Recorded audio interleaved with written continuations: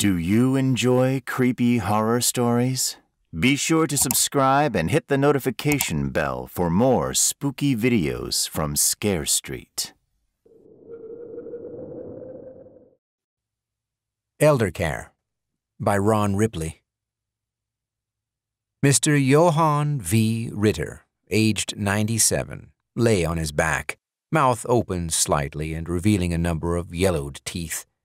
His eyes were closed and darted back and forth beneath their lids in the thrall of REM sleep. Unlike many others in Nutmeg Pavilion Nursing Home, Mr. Ritter was not attached to any sort of equipment or monitoring device. His thin hair was still pale blonde, and his features were sharply defined by his almost translucent skin. He still walked without assistance of anything more than a cane, and he was tall enough that he needed to stoop when he passed through a doorway. The doctors and nurses referred to him as an old warhorse, not merely because he was still alive and thriving as he moved towards the centennial mark. Pauline Thompson, who had been a third shift nurse for three years and who had Mr. Ritter on her wing for all three of them, knew there was far more truth to the warhorse reference than the others could understand. Mr. Ritter, Pauline knew, had been a soldier for the better part of his life. She walked closer to the man and gazed down at the thin arms resting atop his thick, dark green woolen blanket. On each index finger he wore a thick iron ring, each stamped with an image of an eye. The eye, he had once told her, was a sigil used to ward off evil. There were scars on the backs of his hands, on his wrists, and along his forearms up to where they vanished beneath the cuffs of his white sleep shirt. Pauline had asked about those scars once, and she had learned far more than she had wanted to. Are you all right? His voice, soft and accented by his Austrian heritage, took her by surprise and jump-started her heart. She felt the color rise to her cheeks. Yes, I'm sorry. He winked a runny blue eye at her. You have no need to apologize, my friend. As you know, I tend to sleep lightly. Did you take your sleep aid this evening? Mr. Ritter chuckled and used the controller by his side to raise the head of the bed. Of course, I took it. It does not mean that it worked. Some nights it does, others it does not. When my nightmares are particularly bad, ah, well, then I do not sleep as well as I would like. She glanced at the clock on his bureau, saw it was close to her break, and pulled a chair closer to him. It was her right, and few others in the home had the privilege. Sitting down, she smiled at him. Did you have nightmares again? I did. He pulled the cuffs of his sleeves down to his wrists, as if suddenly self-conscious of the scars and what they meant. Do you want to talk about it? He smiled at her. You are my mother confessor, yes? She nodded. Yes, you have been for a few years. He sighed, brought a shaky hand up to his head, and pushed his hair back, more out of habit than necessity. I was thinking of Vietnam. He pronounced the name as two distinct words, something her own father had never done when speaking of that war. When were you there? she asked. My father served from 67 to 69. Mr. Ritter chuckled. I was recruited out of a prisoner of war camp in Africa in 1946. The French, they were desperate for soldiers with combat experience, and they did not shy away from visiting members of the Afrika Korps, imprisoned after the end of the Second World War. What? Pauline couldn't hide her surprise. Mr. Ritter nodded. Yes. It is not widely taught, or even mentioned, I discovered.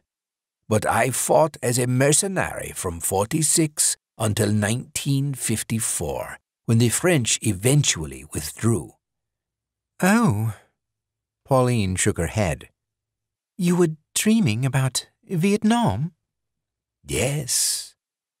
There were some bad parts, of course, and so in my mind I was reliving them.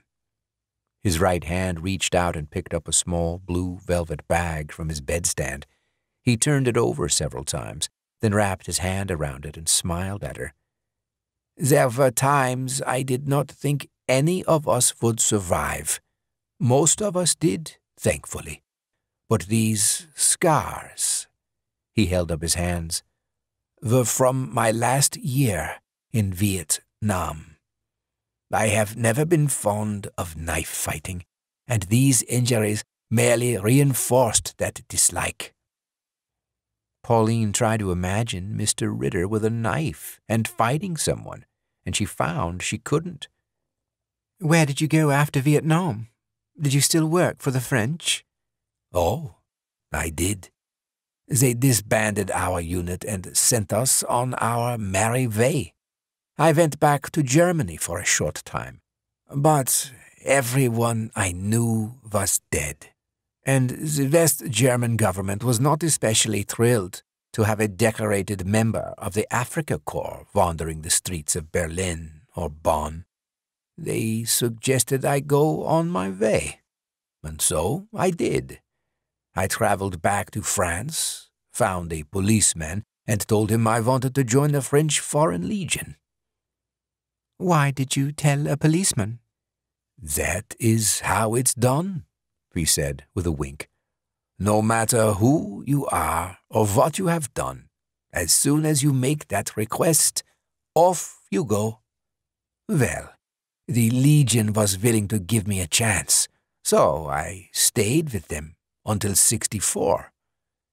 I'm always amazed at what you've done, Mr. Ritter, she smiled. I knew you had fought a lot, but not that you had been in the French Foreign Legion. Was it exciting? He smiled sadly at her. It was terrifying at times. They have a saying, and it is true you march or you die. Wow. He nodded, took a deep breath, and sighed. Well, Pauline, I have a favor to ask of you. Curious, she leaned forward. What is it? Mr. Ritter opened his hand and showed her the blue velvet bag. This is extremely important to me, and I am going to ask that you get rid of it. She felt her eyes widen, and she leaned back. What? It is a dangerous item, Pauline. Terribly dangerous. I do not want it here. Not anymore. I. I cannot control it, should something happen. Do you understand? He's losing his mind now, she thought, hiding her sadness. This is the first sign of dementia, or something worse. I understand. Uh, how do you want me to get rid of it? He smiled at her, relief plain on his face. You must take it to running water. The deeper, the better. Cast it into the water and turn your back on it. That is all. Do you understand? Yes. She extended her hand, and he hesitated a fraction of a second before he let go of it. The bag was heavier than she thought, and uncomfortably cold, despite having been in his hand. Will you do it when you leave work? She nodded. On my way home, I have to pass over the Thames River. I'll pull over and throw it in. His entire body relaxed, and he nodded. Thank you. Thank you so much, Pauline. Remember, throw it right in. Do not open it, please. I won't open it, I promise. Go to sleep now, Mr. Ritter. I'll see you tomorrow. He closed his eyes and smiled again. Pauline stood up and pushed the chair back into its place, dropping the velvet bag into the breast pocket of her scrubs. She walked back out to the nurse's station, picked up the chart, and checked off that she had done her rounds. Pauline hummed as she put in notes about various patients, and when she reached Mr. Ritter's name, she put down his request that she get rid of his blue velvet bag. All the staff knew he had it, and for it to suddenly vanish would draw more attention than the note itself would. She shivered and realized the bag was still cold, and it was sending a chill through her, even through the thick fabric of her top. Frowning, she took it out of her pocket and set it down behind the counter of the station. She placed the clipboard with the notes on it beside the velvet bag. I should probably make a quick run to the bathroom before I do any paperwork. She glanced around, wondering where Maggie, her third shift partner, had gotten off to. Probably grabbing a quick smoke, she realized.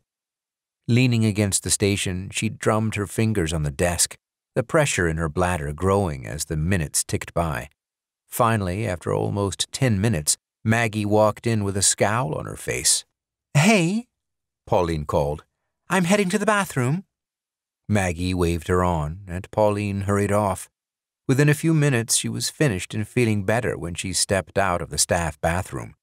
Maggie was bent over the desk, her back turned to Pauline as she studied something. Everything okay? Pauline asked as she drew closer. Down now. Do you know what this is? Maggie held up a small object wrapped in what looked like metal. No idea. Can I see it? Maggie dropped the item into the palm of her outstretched hand, and Pauline winced at the chill that pulsated out of it. The object was the size of a regular six sided die, and the metal was pliable. Curious, she pushed it, finding a nearly hidden seam. Spreading it open, Pauline caught sight of what looked like a tooth. Where the hell did you get this? She dropped the lead to the desk and held up an incisor that was almost certainly human. It was in this pouch here. Maggie picked up Mr. Ritter's blue velvet bag. Why did you open that? Pauline snatched the bag out of Maggie's hand. I wanted to know what it was and why it was on the desk. Maggie, it was with my clipboard. Her co-worker started to argue, then blushed as she looked down, evidently seeing the clipboard for the first time. Oh, I'm sorry, Pauline. I wasn't thinking. I was arguing with John about the baby again. It's not mine. Pauline dropped the tooth into the bag and cinched it closed. It belongs to Mr. Ritter. He asked me to get rid of it for him. Maggie shivered with revulsion. That's so disgusting. I wonder who he killed for it. Maggie! What? You know he probably did. He's a damned Nazi. Pauline glared at her. He was a soldier, Maggie. It doesn't automatically make him a Nazi. It sure as hell doesn't disqualify him. Pauline rolled her eyes. Something crashed in the room across from them. Without another word, the two women raced into the room and found the television, which had been mounted to the wall, on the floor. The occupants, a pair of 79 year old twin sisters, lay in their beds, unmoved by the noise. How did that happen? Maggie's voice was hardly above a whisper. Pauline shook her head and walked to Emma, the closest sister. The old woman's eyes were closed, her head turned toward her twin. Pauline looked at Abby, the twin, and saw she was in an almost identical posture. Something's wrong, she thought. Maggie, can you check Abby, please? Pauline picked up Emma's wrist and sought the woman's pulse. There wasn't one. I don't have a pulse, Pauline. Me neither. Damn it. I'll call downstairs, get Tony up here to confirm it. Maggie walked toward the door and it slammed shut, plunging them into darkness. Pauline took a small penlight from her cargo jeans pocket, turned it on, and flashed it around the room. She didn't see anyone or any reason for the door to have closed. A moment later, Maggie's own light joined hers. Together they advanced toward the large bathroom, the door to which was standing wide open. They went in and found it was empty. Shaking her head, Pauline reached for the door out of the room, and the pen lights died. Beside her, she heard Maggie try the light switch. The overhead lamp flickered into life, and then the bulb popped and went out. Fear and anger gripped Pauline as she took hold of the door latch and wrenched it down, pulling back at the same time. She and Maggie looked out into the main hall, which was lit only by the emergency lights. The air was cold enough for their breath to be seen, and when Pauline looked at Maggie, she could see fear in the other woman's face. We'll go together to check the rooms, Pauline told her. Okay? Maggie nodded. Pauline turned to the right, past the community room, and entered the next patient's room. It was a single, occupied by a recent arrival named Gary Yost. His loud snores told them he was alive and well. They backed out of the room, started towards the next, and heard a hideous scream from further down the hall.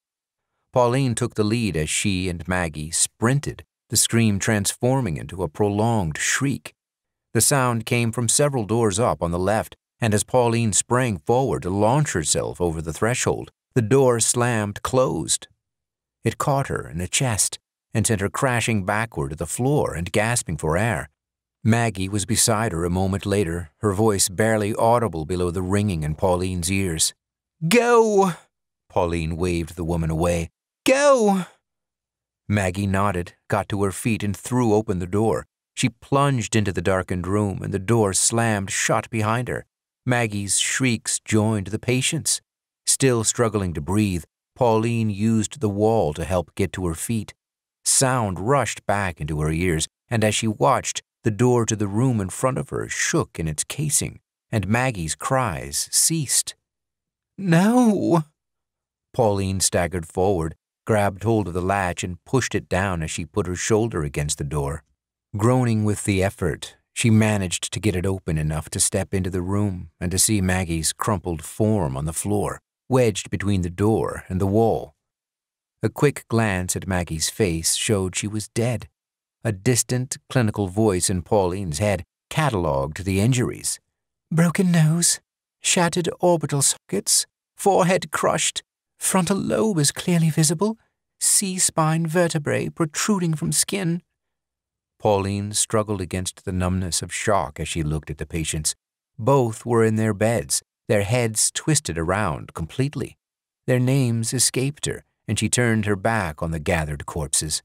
She let the door close behind her, and she heard other screams from further down the wing. Pauline turned toward them, and she saw the emergency exit at the end of the hall open. Tony came into view, a flashlight in one hand and an emergency bag in the other. Pauline, are you okay? We tried reaching you. His voice was cut off as he was grabbed by an unseen force and lifted into the air. Tony's eyes widened, shock spreading across his youthful face. The flashlight went dead, and in the flickering glow of the emergency lights, Pauline watched his mouth open in a wordless scream. Unable to move, she saw his eyes get pushed into his head, blood exploding out as each orbit was scooped out. The emergency bag was torn from his hand and thrown at her, striking her in the legs as she failed to move out of the way in time. As she fell, she saw his arm wrenched out of the socket, dangling unnaturally from the short sleeve top he wore. Tony! She crawled forward, her body refusing to allow her to stand. Her eyes never left his face, and as she watched, unable to reach him in time, his jaw was pushed slowly toward the ceiling his head tilted back, his Adam's apple protruding sharply. Tony screamed again and then went silent as his neck snapped. For a heartbeat, his body hung limp in the air, arms and legs dangling obscenely. Then he was dropped, striking the tiled floor as nothing more than a bag of rotting meat. Pauline stopped and stared, her mind refusing to comprehend or accept what was occurring around her. More screams exploded in the stillness of the wing, and for the first time she heard the fearful cries of those patients who were still alive. Get up, she commanded. Get up! Pauline did so, swaying from side to side as she tried to remain balanced. She took a step toward the scream of someone being murdered. Then she shook her head. That person is as good as dead. I know this. I have to save someone else. This is triage. That's all it is. She recalled her youth when she had done her practical in emergency medicine at Catholic Medical Center in Manchester, New Hampshire. and the old sister who had been a nurse longer than Pauline's parents had been alive. Save those you can save. Comfort the dying. It is all you can do, the sister had told her. If you learn nothing other than this, you will know more than most. Pauline turned away from death and sought out those still living. She took several steps towards the nurse's station and saw Mr. Ritter totter out of his room. He was dressed in his nightshirt, his thin, bare legs protruding from the hem. On his feet were well worn slippers, and in his right hand he gripped the handle of a cane, upon which he leaned heavily. He stared past Pauline, toward the sounds of murder. His face was hard, his eyes unflinching. After a moment he looked at Pauline. What happened to my blue velvet bag? His voice was calm, as though he was asking if she had seen the Sunday paper. Maggie opened it, Pauline explained. She found a tooth in the lead. She pointed to the desk. Where is the lead? And where is the tooth, Pauline? He walked towards her, his eyes darting occasionally from her to over her shoulder. The sounds of items breaking and new screams caused her to flinch. They are on the desk, Mr. Ritter. He reached the nurse's station and nodded.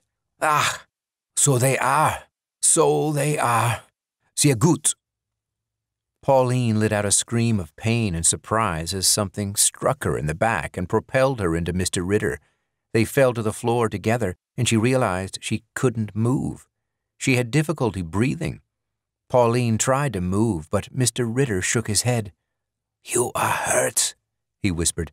Stay still, as still as you can. She hissed in pain as he slid her off his chest.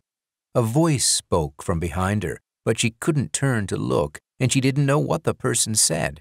It was a language she had never heard before, but evidently it was one that Mr. Ritter had, for he answered the person in kind. She turned her head enough to see his face, which was thrown into sharp relief as the emergency light near him shined upon him. The unseen speaker laughed, and a prosthetic arm flew across her field of vision, nearly hitting Mr. Ritter's head. He snarled and spoke with such vehemence that she knew he was swearing. The person behind her screamed, and more objects were hurled at Mr. Ritter, none of which struck him. It was as though the speaker wanted to harm him, but couldn't bring themselves to do it. Where are the police? Pauline wondered. Where's the fire department? Every alarm in the world should have gone off by now. She tried to move again and sobbed, the pain in her back sent a shock through her entire chest, and in a moment she knew why. She could feel something scrape the floor when she breathed too deeply. Fighting back panic, she reached up with her right hand and felt the tip of a piece of metal protruding through her left shoulder and catching on a groove in the tiled floor. Mr. Ritter yelled in the foreign language and made a gesture with his hands that was unmistakable regardless of the spoken word. Come and get me. The speaker did. As she watched, Pauline saw a figure hurtle past her. It was a woman, clad in black pants and shirt, long glistening black hair pulled into a ponytail. The woman was barefoot and empty handed as she attacked Mr. Ritter. Her blows were powerful, rocking him back on his heels, but he stood there and took the abuse she gave him. I must have a head injury, Pauline thought, watching the fight. I think I can see through her. Is there a gas leak? Am I really seeing this? Is this happening? Or am I in some coma? The woman continued to lash out at Mr. Ritter, every blow landing. He never raised a hand against her, yet the woman struck him in the face and on the head. She punched his shoulders with enough force to drop him to his knees. Blow after blow landed against his face and chest, but he never fought back. Instead, he let his chin drop and he stared at the floor. Finally, after what seemed like an interminable amount of time, the woman stopped. She stood before Mr. Ritter and spoke softly to him in her own language. He nodded and answered her. She muttered to him, and he shook his head. The woman raised her voice, and he shrugged. An expression of unmistakable anger settled onto her small, sharp features, and she yelled at him. Grimacing, Mr. Ritter got to his feet and looked down at her. He was nearly two feet taller than the woman. She pointed at him, hissed a word at him, and he struck her. His large right hand passed through her, and the woman vanished. Pauline blinked, confused. Mr. Ritter lunged for the desk, reached over it, and snatched up the bag and the lead. The woman appeared behind him and screamed. He didn't look as he gave her a backhand that caused her to disappear again. Pauline watched as he opened the velvet bag and shook the tooth out. He pressed it into the lead as the woman lunged out of a shadow.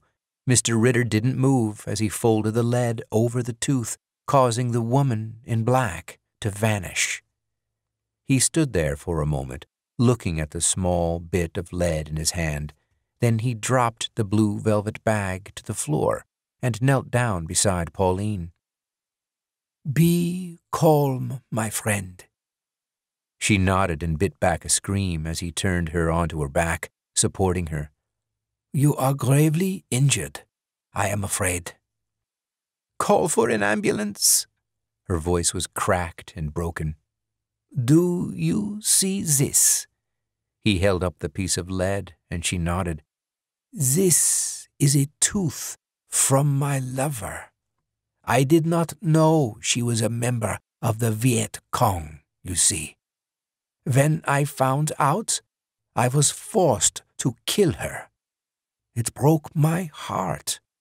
So to remember her, I took an incisor. I carried it for nearly a year before she came back as a ghost. She tried to kill me several times, and she killed several of my men before I finally learned how to control her.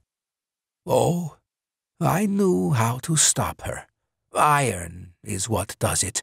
But control, that is something different.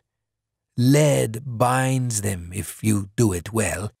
I thought that if I had you throw her tooth into a river, I would be dead before she could be freed by time. Hubris, my friend. It makes liars of us all, does it not? Please, call for help. He shook his head. That I cannot do. No one can know of this. You are Jewish, are you not, my friend? What? Fear spiked her heart. No, no, he can't be a Nazi, not Mr. Ritter, not after all this time. Something must have shone in her eyes. No, I am not a Nazi, my friend. I only ask because I know that those of the Jewish faith do not have autopsies, and that is what I needed, I think. A lack of investigation. Don't you agree? She opened her mouth to speak, and he dropped the lead into her mouth. Her eyes widened with horror, and before she could try to spit it out, he clamped a large hand over her mouth and pinched her nose closed, forcing her to swallow it. As soon as she had, he let go, holding her gently as she coughed and wheezed. I know, I know. I am terribly sorry, my friend. It is necessary. They will not empty your stomach.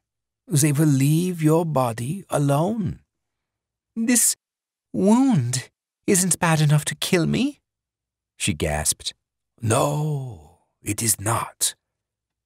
Mr. Johann V. Ritter placed his hand over her mouth, pinched her nose closed, and whispered, I am sorry, my friend. Truly sorry. In the distance, Pauline heard the wail of sirens, and she knew they would be too late. Click the link in the description or search Scare Street on Audible for a list of all our bone chilling titles. Don't forget to like, subscribe, and hit the notification bell for more spooky videos from Scare Street. See you in the shadows.